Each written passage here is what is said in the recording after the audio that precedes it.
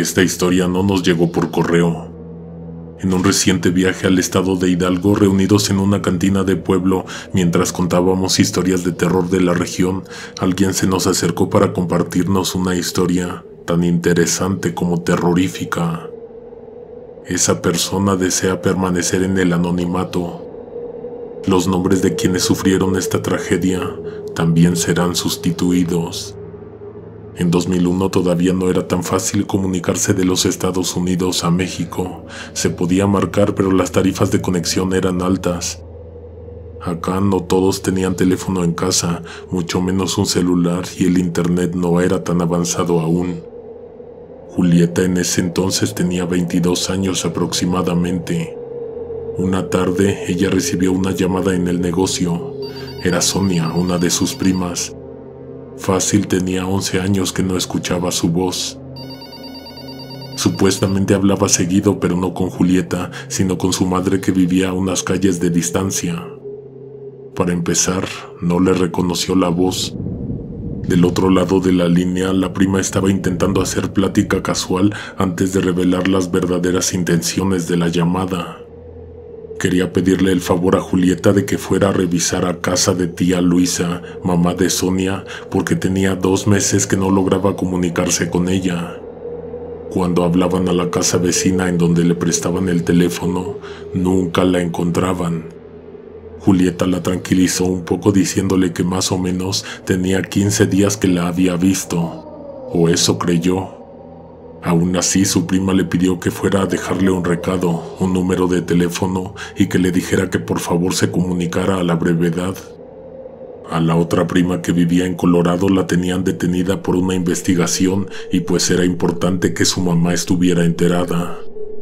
Al principio no querían decirle, pero pasó tiempo y las cosas se empezaron a ver complicadas, por esto es que a Sonia ya le urgía darle la noticia. Julieta tenía comida en los hornos, no podía apagarlos, no podía encargárselos a nadie, pero sí pudo calcular cuánto tiempo podría estar fuera sin que se pasara de cocción o se quemara lo que estaba dentro. Se hubiera esperado hasta sacar todo el encargo, pero su prima le dijo que tenía una hora nada más y que después no podría llamar sino hasta dentro de tres días. Solo era ir a ver que la tía estuviera bien, avisarle que sus hijas necesitaban comunicarse urgentemente con ella y regresar. Julieta tomó sus llaves, agarró una bolsa de mandado y emprendió el camino hacia uno de los eventos más traumáticos, más extraños y más espantosos de toda su vida. Cuando llegó a casa de Luisa, se encontró con que la puerta que daba a la calle se encontraba emparejada. Empujó y ésta se abrió. Aún así tocó al mismo tiempo en que puso un pie adentro. Esperó a que le contestaran para avanzar. Estuvo por hacerlo cuando le vino a la cabeza la idea de que tal vez tía Luisa había salido a la tienda y por eso dejó entreabierto. Julieta regresó a la calle y esperó diez minutos más o menos Pensó en dejarle un recado en la puerta, pero entonces escuchó ruidos dentro de la casa. Volvió a tocar, se volvió a meter, llamó con voz alta el nombre de su tía y entonces se pasó hasta la sala. La casa de la tía era muy vieja. En ese pueblo hubo actividad minera en los años 1800, así que ya te has de imaginar los muros gruesos, los ventanales amplios y los desniveles al interior de la casa ya que fue construida en la cuesta. Julieta entró a la sala y la encontró vacía. Fue a la cocina, subió las escaleras, revisó los cuartos, salió al patio, se asomó al baño. Gritó demasiadas veces. Al volver al interior de la casa se preguntó cuánto tiempo más podría esperarla. Diez minutos tal vez. Miró la hora en el reloj, supongamos que eran las 5.20, a las 5.30 tendría que salir corriendo de regreso a casa para apagar el horno. Se sentó en un viejo sillón individual y se quedó mirando hacia la puerta. Julieta sintió que pasaron menos de cinco minutos Miró el reloj y entonces comprobó que este no se movía porque estaba descompuesto. No sabe cómo le hizo, pero cuando se levantó asustada porque se le pasó el tiempo, empujó el sillón un poco para atrás. La pata de este jaló una especie de alfombra, arrancando uno de los puntos que la tenían fija a la pared. Atrás de eso había una puerta. Julieta se miró la muñeca por la costumbre, pero no traía su reloj ya que siempre se lo quitaba para hornear. Había perdido por completo el sentido del paso del tiempo, pero lo que vio le llamó tanto la atención que prometió que solo gastaría uno o dos minutos mirando qué había ahí y luego iría a su casa corriendo. La casa de la tía Luisa tenía un túnel secreto. Había un tendido de focos que se encendió cuando ella bajó una pequeña palanca mal colocada en la pared. El pasadizo parecía haber sido construido a la par de las minas de aquellos años. Tenía una galería estrecha y claustrofóbica que bajaba en un ángulo un poco pronunciado. Lo bueno es que había luz, que había un pasamanos, frases talladas en la piedra que servían de señalización. No podía ser que la tía estuviera ahí, pensó en un momento Julieta, pero a decir verdad, a ella siempre le habían intrigado los pasadizos secretos, los cuartos ocultos, las puertas que conducían a partes desconocidas de la casa, así que siguió avanzando. Seguro ya se había pasado de los dos minutos. Pensó en regresar cuando llegó a un tramo que tenía las luces de los focos atenuadas una parte del túnel en donde se veía muy poco, además de que había una filtración que creaba los charcos de agua. Creo que hasta te podrás imaginar a todo lo que olía ese sitio, a humedad, a polvo, a tierra mojada.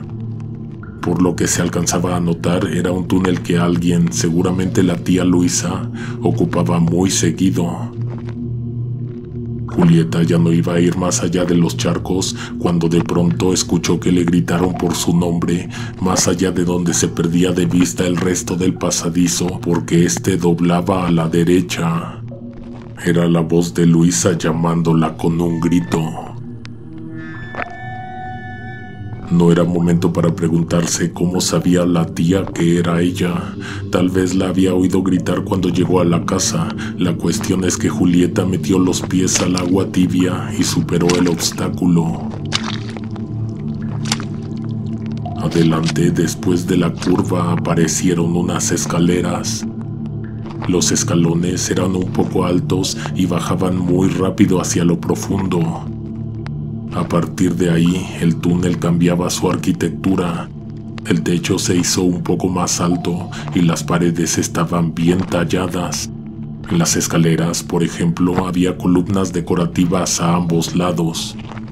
Lo que iluminaba los escalones era una especie de candil al que le parpadeaban sus luces.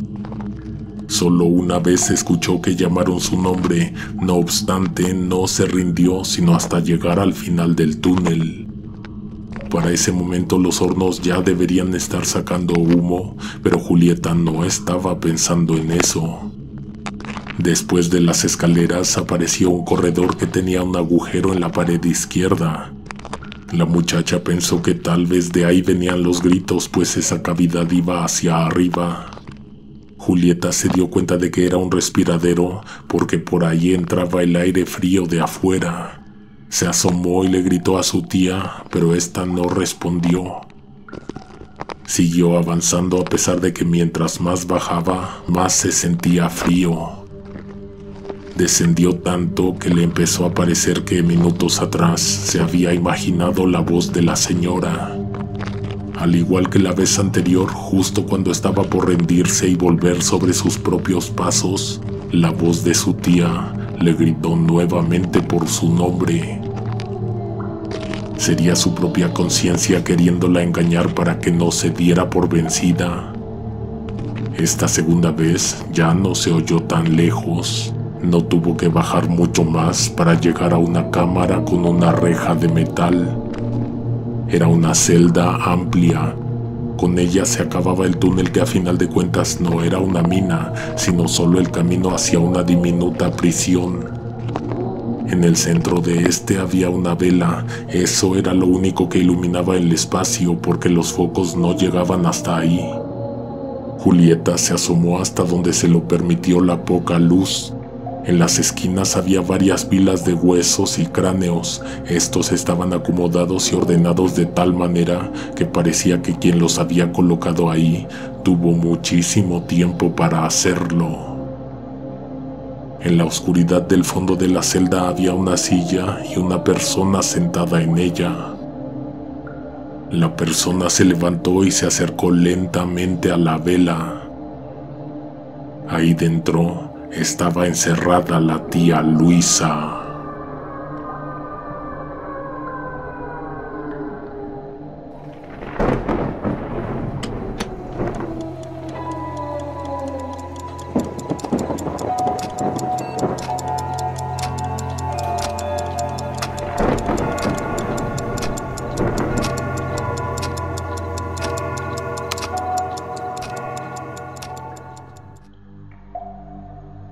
No había nada a la mano que pudiera servir para romper el candado y abrir la reja de la celda. Además, lo que Julieta vio después de que se puso a revisar si las llaves no estaban colgadas en alguna parte de la pared era que además de un candado había cerrojo y cadenas al pie de la puerta. ¿Quién le hizo esto, tía? preguntó Julieta. La señora solo se tiró de rodillas a rogarle que la sacara de ahí. ¿Dónde están las llaves? No sé, respondió Luisa, pero apúrate porque no tarda en volver. Justo cuando estaba diciendo eso, se apagaron las luces. Lo único que perduró fue la pequeña llama de la vela en el centro de la celda. Todo lo demás se volvió oscuridad total. Además recuerda que ella estaba bastantes metros bajo tierra, en donde siempre es de noche. El rostro de la tía Luisa se iluminó de una terrorífica manera y al agacharse se vio como que no tenía fuerzas. Ahí dentro en la cámara no había una cama, no se veía un vaso o un balde de agua, ni mucho menos platos de comida. La señora despegó la vela del suelo y se la llevó a Julieta.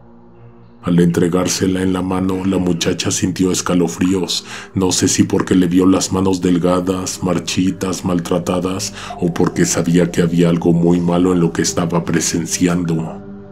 Tal vez porque estaba casi segura de que algo horrible estaba por ocurrir.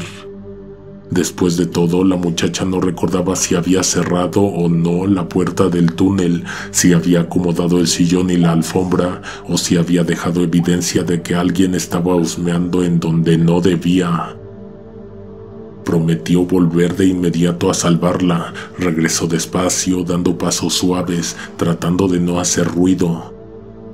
En un punto ella cayó en cuentas de que quien apagó las luces podría estar haciendo dos cosas, cerrando con llave la puerta que condujo a Julieta hasta la celda, o tal vez recorriendo todo el túnel para ver quién se había metido sin permiso.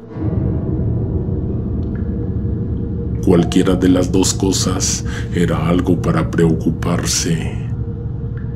La cosa se puso peor cuando ella pasó cerca del respiradero, pues la vela se apagó. Se quedó un momento ahí pensando en volver a ver si en la celda había un encendedor o cerillos para prender la vela nuevamente. Sintió que no tenía tiempo que perder, así que mejor avanzó hacia la salida. No sé si te ha pasado, pero a veces sientes que hay alguien detrás de ti, aunque no haga ruido o no lo puedas ver. Tal vez son instintos que tenemos. Mientras Julieta subía los escalones, no podía dejar de sentir que había alguien encima de ella, a la altura del candil. Según dijo, sentía la mirada y la presencia. Llevaba los ojos bien abiertos a pesar de que no se veía absolutamente nada. Afortunadamente el túnel corría sobre de una línea que no se bifurcaba ni daba paso a nuevos caminos.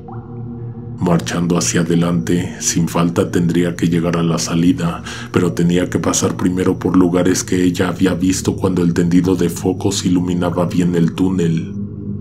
Miraba hacia el piso porque estaba segura de que había algo o alguien vigilándola, alguien que se agarraba del techo o que flotaba sobre su cabeza. Cuando superó los escalones se encontró con un salón amplio, algo que no recordaba en lo absoluto. Lo que le espantó fue que en un momento sus brazos extendidos a los lados perdieron la pared derecha y la izquierda. Tratando de no cambiar mucho de dirección, dio dos pasos a un lado y de vuelta, dos pasos al otro lado y de vuelta, pero no logró ubicarse. Estaba perdida en un espacio amplio, uno en donde estaba 100% segura de que no había pasado de ida. Caminó más hacia el frente hasta que se encontró con una pared. A izquierda o derecha debía estar la salida.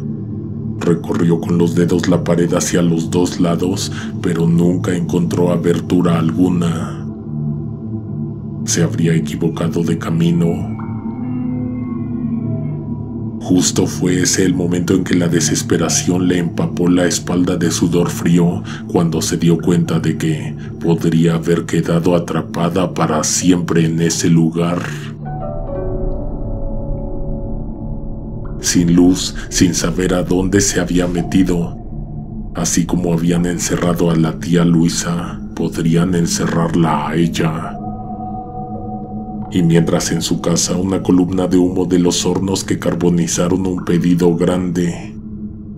Quiso ser positiva y pensó que a lo mejor el incendio haría que fuera más fácil darse cuenta de que ella había desaparecido. Dejó los hornos prendidos porque salió de casa y ya no regresó. Tal vez tenía esperanzas, pero ¿cuántos días pasarían hasta que conectaran todos los puntos y terminaran buscando detrás de la alfombra en la pared de la casa de mi tía, entraran al túnel y la encontraran a ella y me encontraran a mí? Tras pensarlo, otra vez sintió escalofríos, pero ahora hasta en la frente y en las mejillas. Si no encontraba la salida, si se desesperaba un poco más, tal vez tendría que aprender a vivir en la oscuridad hasta que se muriera de hambre. En un momento sus manos palparon una hendidura en la pared. Era el único lugar por donde parecía haber una salida, además por ahí pasaba una corriente de aire. Tal vez podría conducirla a un respirador y salir por ahí o gritar para pedir que la ayudaran a salir. Obviamente ese no era el mismo camino que el que había tomado de ida, pero aparentemente no había otro lugar para ir. Este agujero era como una herida vertical. Para atravesarlo había que caminar de lado porque en verdad era muy estrecho. Julieta se desesperó más a mitad de ese apretado pasaje porque empezó a sentir asfixia y a pensar que se iba a quedar atrapada en ese lugar. Hizo un pequeño esfuerzo para desatorarse y lo logró cuando de pronto sintió que alguien venía detrás de ella. Lo escuchó cuando esto se empezó a escabullir dentro de la misma abertura en la pared ella no quería gritar, pero no pudo evitar chillar de horror cuando sintió esa cosa más de cerca. La presión la obligó a ir más rápido, a empujarse con los brazos, los codos, los hombros, las manos y hasta las uñas. Estaba terminando de salir cuando la otra cosa se aproximó tanto a ella que por momentos la tocó. Julieta dijo que no tuvo ni la más mínima idea de lo que fue, pues era un cuerpo frío y no se le sentían proporciones humanas. Esa cosa tenía prisa y parecía que se conocía el camino, así que Julieta se fue siguiendo sus ruidos, tratando de no acercarse demasiado. Atravesó los charcos de agua, mismos que ella creyó reconocer, lo cual le dio un poco de esperanza, no obstante, después de eso hubo escalones en caracol. Tal vez no era por donde ella había llegado, pero probablemente saldría a otro lugar. Pero también podría ser que por error Julieta se estuviera conduciendo a la guarida de aquella criatura. Imagínate que esa cosa en realidad nunca sale del interior de la Tierra. La muchacha subió hasta que llegó a un pasillo iluminado por una luz de afuera.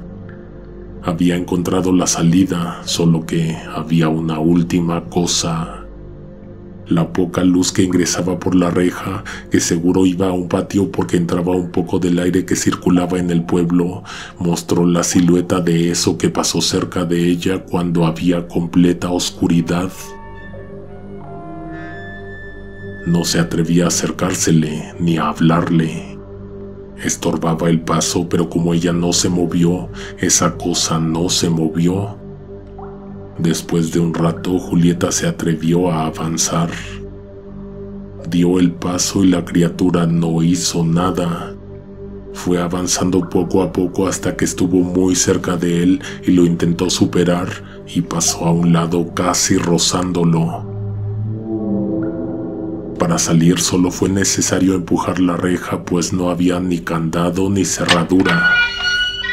Antes de salir a un patio donde estacionaban camiones, volteó a ver a la cosa que estaba en el pasillo. Se veía poco, pero Julieta lo describió como una especie de demonio, con la piel enrojecida, facciones exageradas, brazos largos y el cuerpo desnudo. Salió casi a 500 metros de la casa de su tía Luisa, pero salió al momento solo le importaba llegar a su casa para apagar los hornos. Caminó de noche por las calles del pueblo, subiendo y bajando hasta llegar a su domicilio. Jadeando sacó las llaves y abrió la puerta. Esperaba que se inundaran sus narices con el olor a quemado, pero extrañamente el único olor que había era el de la comida recién hecha y en su punto. Aún así se fue rápido al taller Ahí, además de que encontró los hornos apagados, estaba la tía Luisa esperándola.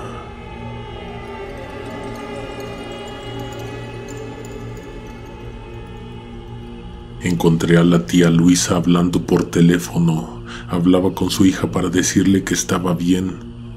No sé si Sonia le dijo lo de su hermana, pero según Julieta, la tía no se veía alterada. Al contrario, estaba muy tranquila. Cuando colgó ella misma se puso a explicar que había llegado a tiempo, que había hablado con sus hijas y que pudo apagar los hornos antes de que se quemara lo de adentro.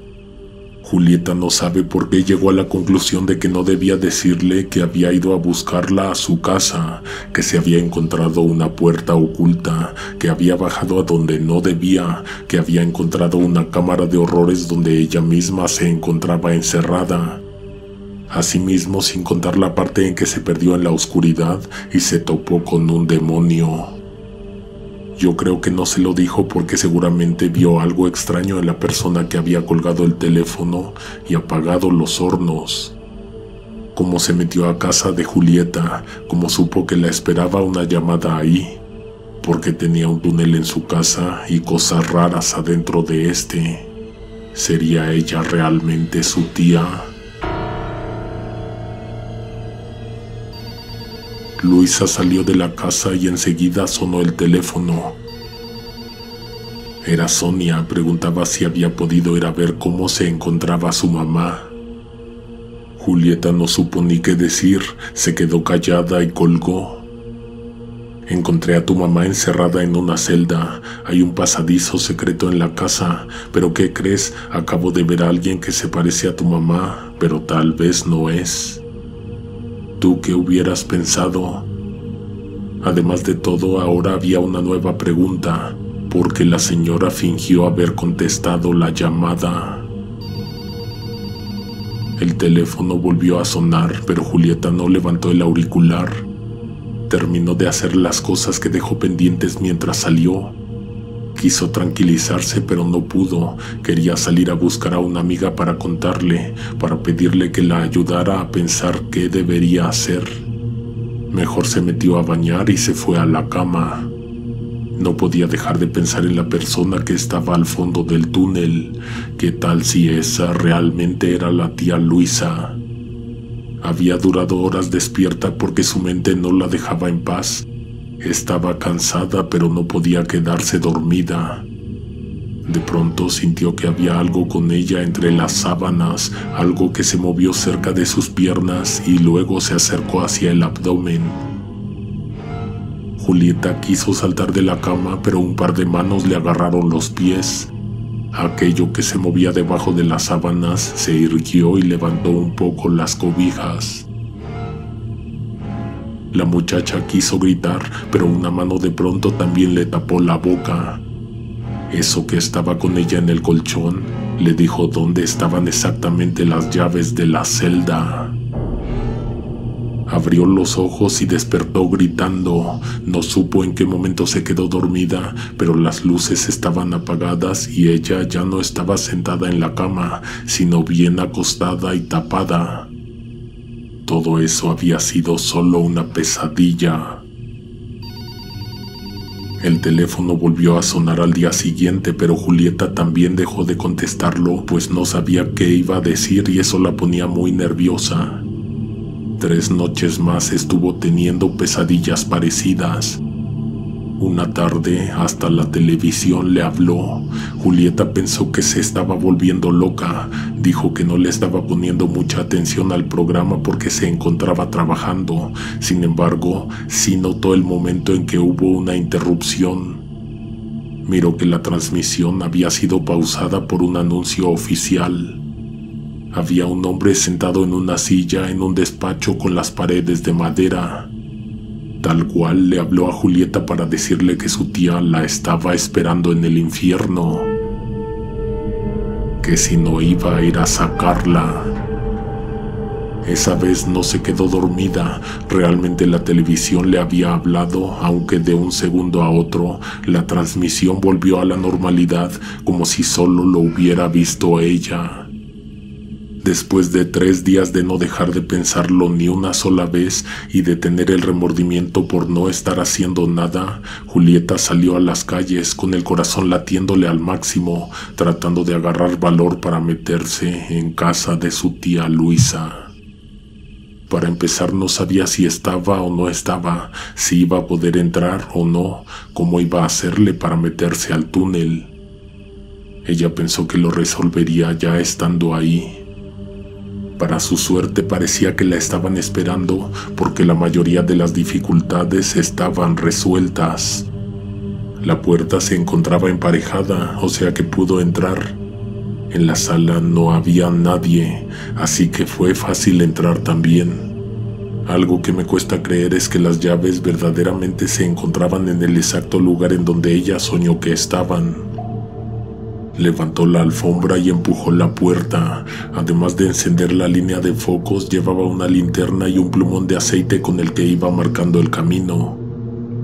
Caminó con seguridad por todos los corredores que ya conocía y además se fue fijando dónde pudo haberse desviado, pero es que en realidad no había derivaciones en el camino. Toda estaba sudando, le temblaban las piernas y la boca le sabía a centavo. Aún así llegó a la celda y la encontró a media luz. Al igual que la vez anterior no parecía haber nadie porque estaba semioscura, iluminada con la luz de una vela que estaba por consumirse completa. Julieta le llamó a su tía Luisa, quien apareció lentamente unos segundos después de que fue llamada. Ahora se veía más débil según la muchacha. Se tardó un poco en reaccionar porque seguro se quedó en shock, pero cuando volvió en sí se puso a abrir candados, quitar cadenas y cerrojos. Al momento en que pudo desatorar la reja del marco, la tía Luisa se agachó para soplar la luz. Junto con esa luz se apagaron los focos. Mientras Julieta encontraba de dónde encender la lámpara, todo era oscuridad por más que Julieta le pedía a su tía que se acercara para ayudarla a salir, no escuchó respuesta alguna del interior. Había algo que impedía que pudiera prender la lámpara. Creo que era que las pilas no estaban bien puestas, pero antes de que las colocara bien, se metió a la cámara. No se sintió que nada saliera de la celda, pero tal vez sí lo hizo. Luego la puerta se abrió más o la abrieron Después se azotó o la azotaron. Por un momento creyó que se había quedado encerrada para siempre, hasta que se dio cuenta de que aún tenía las llaves. Dijo Julieta que sí se sintió que algo abandonó la cámara, aunque evidentemente no era Luisa, porque no parecía un cuerpo humano lo que pasó por ahí. La muchacha salió de la celda sin problemas luego de asegurarse de que todo había sido una alucinación, pues ahí no había ninguna tía Luisa. La linterna permitió que se viera el camino de regreso, la misma línea que aunque serpenteaba de pronto era una sola y conducía a un único lugar. Ni ella ni nadie se explican cómo la vez pasada terminó en otra salida. Cuando llegó al inicio del túnel, escuchó que había voces en la sala. Era su tía y alguien más. Aunque se imaginaba cosas, no le quedaba claro en lo absoluto qué era lo que había pasado allá abajo. Julieta se esperó unos 40 minutos del otro lado de la alfombra, pero aquellos no se iban. De hecho, por lo que platicaron, dieron a entender que siempre había alguien ahí, en la sala, de día y de noche, haciendo una especie de guardia. Después de un rato se escuchó que alguien se levantó de un asiento y luego se hizo silencio. Julieta pensó que se había quedado sola y entonces abrió la reja y luego levantó la alfombra. La tía la estaba esperando del otro lado. Se veía enfadada y molesta, pero cuando vio lo que su sobrina tenía en la mano, casi se va de espaldas. Si tenía las llaves significaba que había liberado a lo que existía allá abajo. Julieta recordaba bien que la tía le dijo, Julie, nos acabas de matar a tu mamá y a mí. Luego la llevó a la salida, un poco a empujones hasta la calle, y ahí le cerró la puerta. Julieta no sabía lo que había pasado hasta que al día siguiente amaneció muerta su tía, y más como al mediodía le avisaron que su madre también había fallecido. Ambas muertes habían sido violentas, un extraño ataque sin sospechoso. La persona que vivió esta historia no tiene certeza de lo que sucedió al final, pero platicándolo con otras personas se fue aclarando y fue saliendo no la verdad, sino lo que seguramente ocurrió. Ahí abajo había algo encerrado, no te voy a decir demonio porque no me consta, pero era algo peligroso, algo que manipuló a Julieta para que lo liberara. Su mamá y su tía algo sabían, algo habían hecho, algo cuidaban de que no se escapara de esa celda. Algo de su infancia de pronto le hizo sentido a Julieta. Dijo que cuando era niña no sabía por qué iban tan seguido a casa de tía Luisa ni por qué su mamá se quedaba despierta toda la noche en la sala, seguramente cuidando lo que había tras la alfombra. Unas semanas después de que pasó todo, a Julieta le llegaron un par de respuestas a sus preguntas. Se enteró de que las hijas de Luisa, Sonia y Viridiana, nunca le hablaban a su mamá y ni siquiera vivían en Colorado. Esa debió haber sido la primera vez en que aquello que Julieta liberó de la celda se comunicó con ella. También le habló en sueños por medio de la televisión y tomó la forma de su tía Luisa en la cámara profunda. Lo último que pasó fue que inesperadamente y sin remitente le fueron a entregar una camioneta, hornos nuevos y bastante mobiliario que le hacía falta en su negocio. La gente piensa que alguien le pagó el favor.